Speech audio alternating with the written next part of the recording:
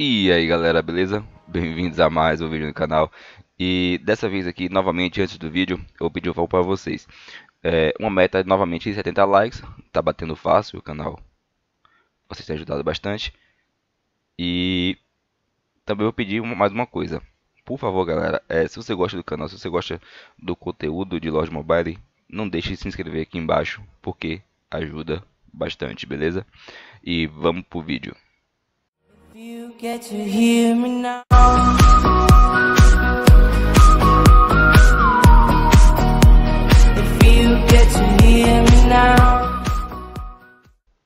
Bom galera, vocês podem ver aqui que eu estou no meu castelo mais fraco, né? Que é o castelo Trap. Eu estou fazendo a, a, umas lives com você, né? Com vocês, fazendo a evolução dele.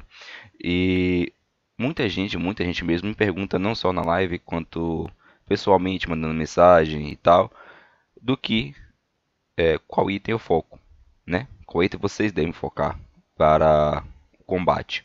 Eu já tenho, já tenho conteúdo aí sobre pesquisa, sobre construção, é, treinamento, essas coisas.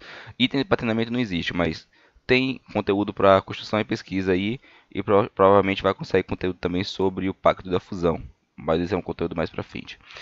Mas para combate mesmo, para combate ainda não tem. E por que não tem ainda?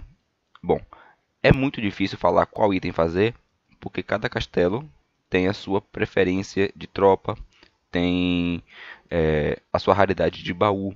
Por exemplo, se você é uma pessoa que não vai comprar baú, né, é, você basicamente vai fazer as tropas, que, o, os itens que você ganhar mais baú. Então, se você tiver mais baú da besta da neve, provavelmente você vai conseguir mais itens raros da besta da neve e assim vai evoluir aquele item é, mais do que os outros. Então é mais fácil você usar aquele item lá. Porém, é, o intuito desse vídeo aqui é mostrar um conteúdo que todo mundo pode fazer. Uns itens que todo mundo pode fazer. Por quê? Eu só foquei em itens que poderiam ser feitos com itens de colheita, beleza? Então vamos lá. É, lugar errado. Aqui, no meu armário. Lembrando que ele não tem joia nenhuma e que minha conta é pequenininha, então, tipo, tá até muito evoluída para uma conta pequena, mas ele não tem é, joia nenhuma encaixada, então não tá um item tão forte quanto deveria ainda. Mas vamos lá, qual é o set que você deve fazer? O set está bem misto, você pode fazer com um castelo que tenha muita cavalaria, que tenha muito arqueiro, que tenha muita infantaria, que provavelmente vai ficar bem equilibrado também. Como o Castelo Teve você tem que equilibrar entre as três tropas, eu fiz o item assim, beleza? O item que não deve faltar de jeito nenhum é a machadinha de fogo. Por quê? É a machadinha de fogo no máximo, né?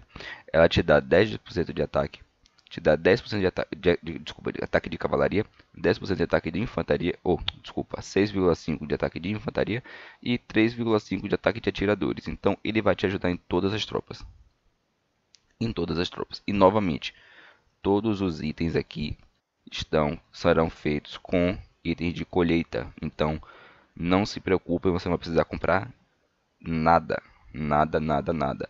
O primeiro item então vai ser a machadinha do fogo, porque é um dos mais fortes desse conjunto. E lembrando também, todos os itens aqui você pode ver podem ser colocados em castelos, em heróis no level 40, né? Um herói fácil de pegar. Vocês estão vendo que eu tenho 1 milhão, 1 milhão e 800 de poder, né? E já estou com... É, já estou com level 40 e upando esses itens aqui e já estou encaixando para a batalha. Já fiz uma live aí que eu estava atacando com Castelo Trap, só de brincadeira, mas... É, mas você pode fazer muito bem isso aí para defender, para atacar, não importa. Você pode encaixar com level 40, vai ficar bem fácil, o seu castelo vai ficar forte, mesmo sendo pequeno, beleza? A maioria dos itens são itens que é, vão ficar forte apenas com pessoas com level 55, 50, 60. Esses aqui estão focados no level abaixo justamente por causa disso. O segundo item que você pode ver, que você pode focar, é o é a bota aqui, que é as botas duráveis. Por quê? Ela vai te dar no máximo, né? Lembrando, estou falando sempre do máximo, um bônus muito interessante de defesa, que é 10% de defesa do exército todo, né? Então, seu atirador, seu arqueiro, sua cavalaria vai receber, vão receber 10% de defesa, ok? Só por ter upado esse item no máximo. Vocês podem ver que meu castelo é pequenininho, bem inicial e ainda já tá tudo quase, já tá quase no roxo, tem outras coisas no azul e é bem fácil de upar esses itens aqui. Eles só pedem um, né? Vocês podem ter a ideia aqui também que eles só pedem um de cada item, então é bem fácil de pegar ele no lendário. Outro bônus interessante é o ataque das atiradores, que te dá 4,5 de ataque, né? E 4,5 também de ataque de cavalaria. Então, para aquele conjunto que a gente sempre faz, que é, é aquele exército cavalaria e arqueiro, vocês podem ver do meu castelo principal. Esse item também é bem interessante para quem não tem outros itens.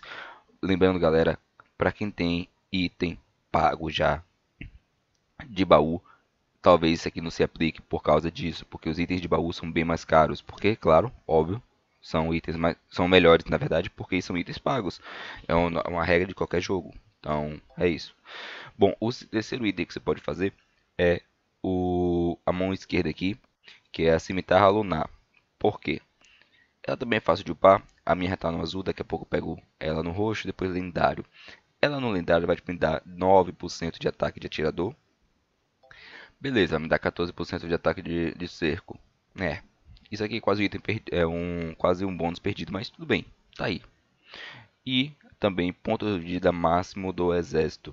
Ele te dá 11%. Todo o seu exército vai receber 11% de bônus de vida. Maravilha. Nota 10 isso aqui. Então é também muito bom para você fazer. Bom, o terceiro item, né? O quarto item, na verdade, que você pode fazer é a relíquia do, do náufrago.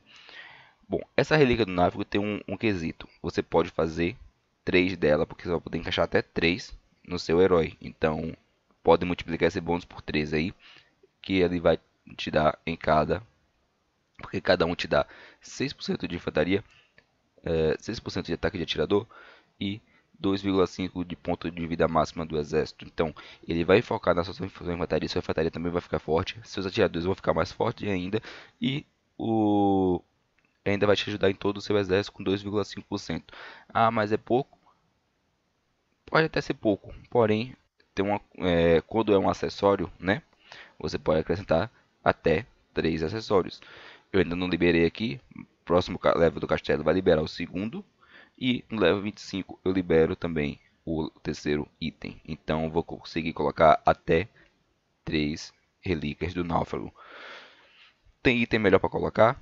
Tem, mas é pago. Então vai de critério para critério de cada pessoa, beleza? O quinto item que você pode fazer é o helmet, né? O capacete, no caso.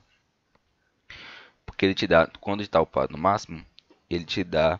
Bom, vocês podem ver aqui que te dá dois itens bosta, né? Na verdade é essa. Mas porque não tem outro item melhor, não pago, ok? Eu já procurei lá. Item melhor, melhor assim, não tem. Tem uns que são até interessantes, mas esse aqui, como meu castelo, meu castelo é trap, eu preciso de muita defesa. E aqui me deu 16% de defesa. Isso aqui é muito, galera. Muito, muito, muito. É um, é um item muito fácil de fazer. O meu já tá quase no lendário. E daqui a pouco eu já pego 16 de defesa do exército. Vai ser show de bola, beleza? O outro ataque das, das armadilhas. É, ok.